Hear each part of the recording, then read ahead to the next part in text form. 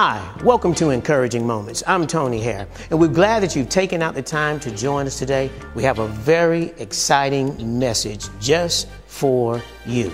So join us as we go into the message that's already in progress and be encouraged. That you're in and change your mind. If you would like to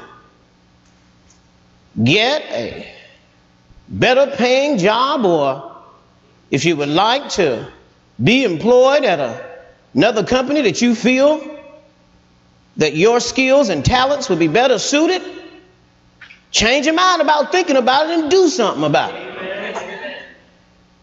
We shared with you also last week that the mind is the unseen, most powerful part of our personality.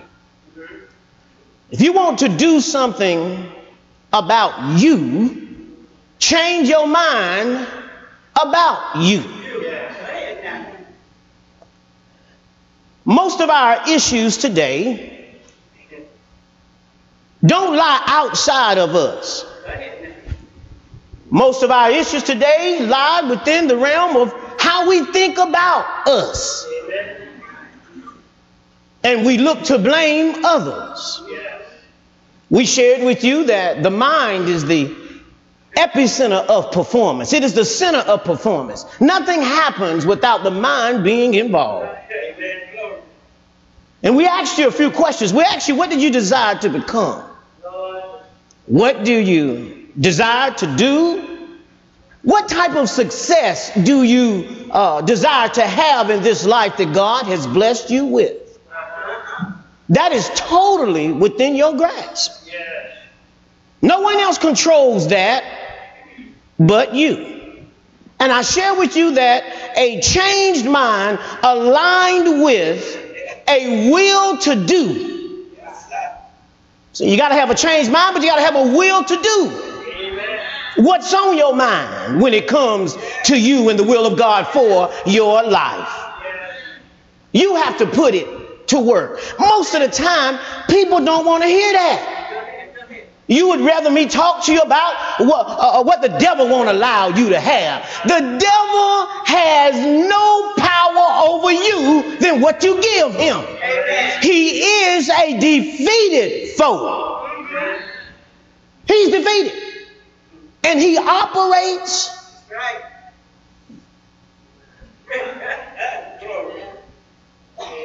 right up here. If he can get you to think negative, you're going to do negative. Hang around the wrong people that aren't going anywhere, you'll be right there with them next year. Both of y'all will be sitting around talking about, well, you know, if this would have happened, then we could have done that. Not, not no more I, now it's we because you done joined me. Next year we're going to have a bigger crowd. After a while we'll have a choir singing the song.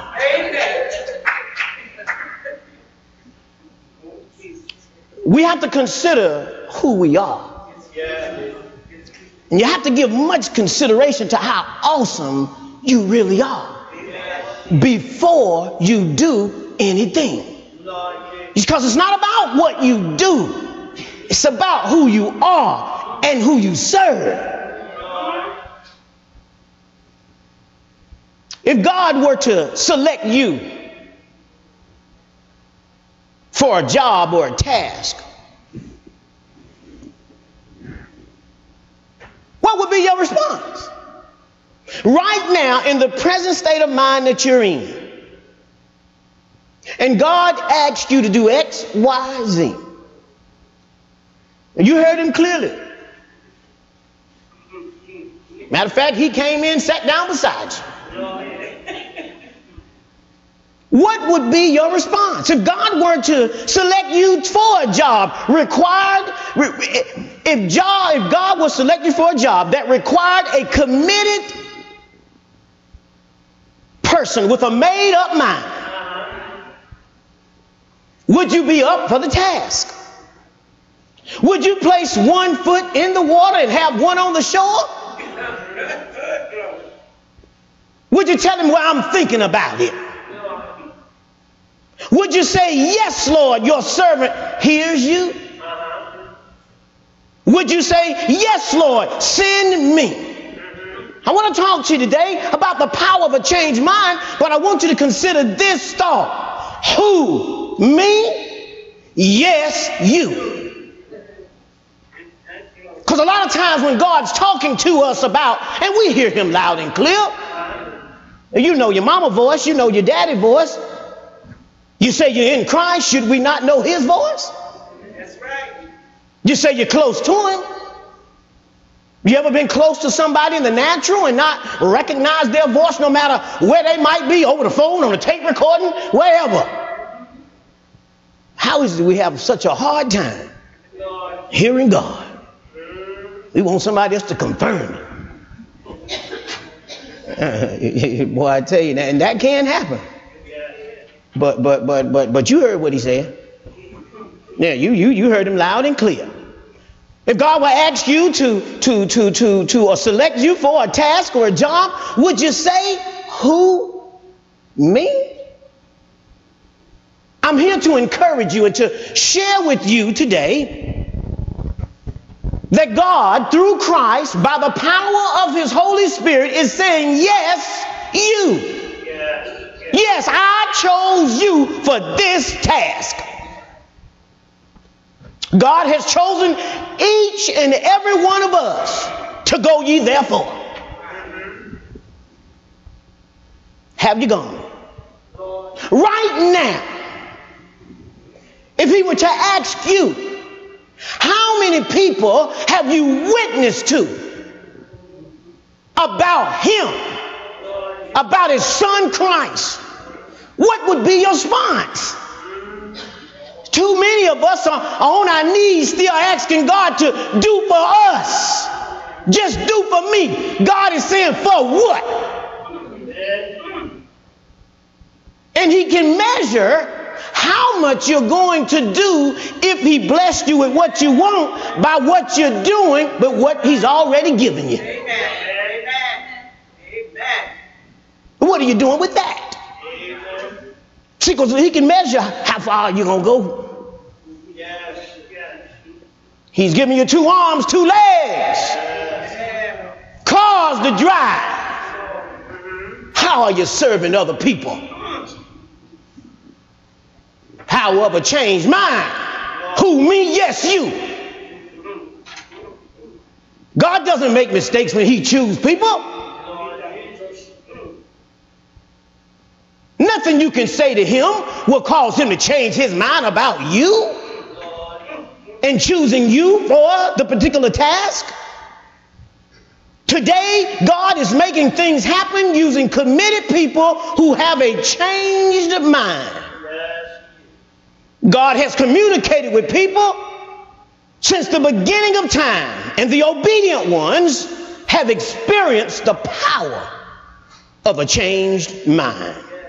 Today, you and I, saints, today, you and I are beneficiaries of individuals who changed their mind and did what God asked them to do. Consider Moses, the son of Jochebed and Amram. Consider Moses. When God called him from the backside of the mountain when he was feeding the sheep of Jethro. Moses when God said, I have heard the oppression of the people in Egypt. Yes. And God said, I have come down. See, that, that, that I might go, that I might deliver them. Yes. And then he went on a little further. And he said, Now God said, I will come down, and, and that he has come down to take care of it. But he goes a little bit further and he says, Come now, I will send you. Yes.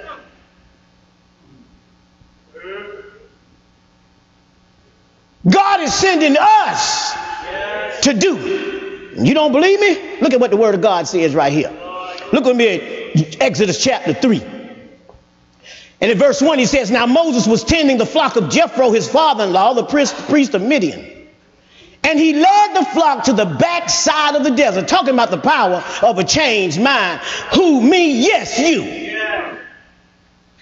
And he came to Horeb, the mountain of God, and the angel of the Lord appeared to him in a flame of fire from the midst of the bush. So he looked, and behold, the bush was burning with fire, but the bush was not consumed. Very familiar uh, narrative here. But we're going to look a little bit closer here.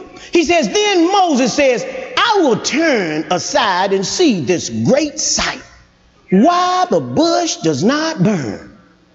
So when the Lord saw that he turned aside to look, God called to him from the midst of the bush and said, Moses, Moses. And he said, Here I am. How many willing today to say, Here I am? Then he said, Do not draw near this place. Take the sandals off your feet, for the place where you stand is holy ground. Moreover, he says, I am the God of your father, the God of Abraham, the God of Isaac, the God of Jacob. And Moses hid his face, for he was afraid to look upon God. Now the Lord speaks, he says, I have surely seen the oppression of my people who are in Egypt and have heard their cry because of their taskmasters. For I know their sorrows. I want you to know, saints, God knows your sorrows. Amen. So I have come down. He said, So I have come down to deliver them out of the hand of the Egyptians and to bring them up from the land to a good and large land, to a land flowing with milk and honey to the place of the Canaanites, the Hittites, the Amorites, the Perizzites, the Hivites, and the Jebusites. A lot of Zites there. Now, therefore, behold, the cry of the children of Israel has come to me. And I have also seen the oppression for which the Egyptians oppressed them. I want you to know now that God sees what you're going through. God knows what you're going through, ladies and gentlemen. God knows what you're dealing with. And just as he heard the prayer of these individuals, he's hearing your prayers too. And look at what happens here in verse 10. He says, Come now, therefore. You know, earlier he said, So I have come down in verse 8 to deliver them out of the hand of the Egyptians. But verse 10 he says, Come now, therefore, I will send who? You to Pharaoh.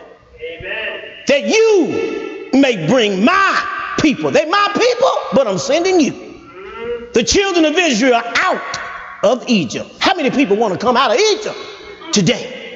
Well, I tell you right now, God has sent pastors all over the country. Amen. Churches have pastors, and you have a pastor, and, and he's trying to bring you out of Egypt. Do you want to come out? Yes, do you want to come out? If you want to come out, exercise the power of a changed mind. He says here in verse 11, but Moses said to God, you know, we always got something to say. We always got some feedback. Now, Moses had been in Egypt. He had seen what was going on with his people.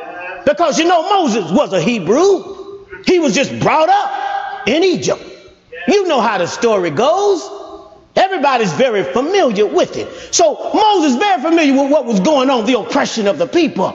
That's why he acted the way he did when he took out the Egyptian and hit him in the sand. Amen. He knew it wasn't right, but Moses was a little premature at that particular point in time. God hadn't called him to do anything. He did that on his own. But here we have God talking to him.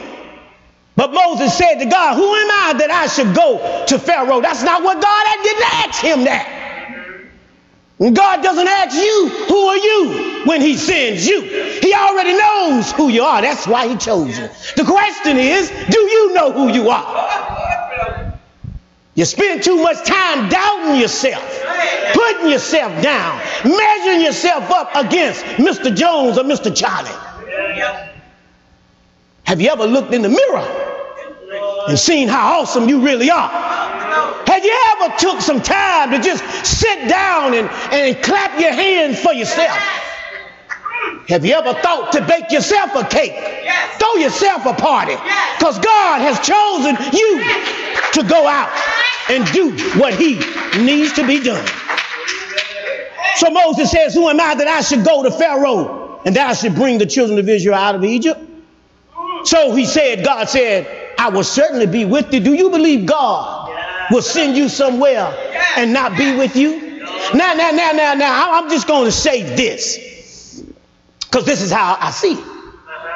Now, he said he would be with Moses. Now, there's a difference between with and in because he's in you. He with Moses, but he's in you. So you have the capacity and the ability to exercise the power of God according to the will of God for your life whenever you get ready to. So who are you? You're the one God chose for the job. And there's no job too big for you. No job too big for you to, go to, to do the job that God sent you to do. So he says here, when you have brought back the people out of Egypt, this is how you're going to know I sent you. You're going to serve God on the mountain right here where you at. Right here where you talking to me now. You're going to bring them back here. And we're going to have a party. This is how you're going to know I sent you. But how many of you know that for some of us that ain't enough? We still have some more excuses concerning us. So Moses first says, Who am I? Verse 13 says, Then Moses said to God, Indeed, when I come to the children of Israel and say to them, The God of your fathers has sent me to you, and they say to me, What is his name? What shall I say to them? And God said to Moses, I am who that I am. Moses was giving God another excuse. What's your name? I don't even know your name. How can you send me? Who am I going to tell him sent me? God lets him know I am who I am. I am that I am. So, what is your issue about letting everything that you come up against know who sent you?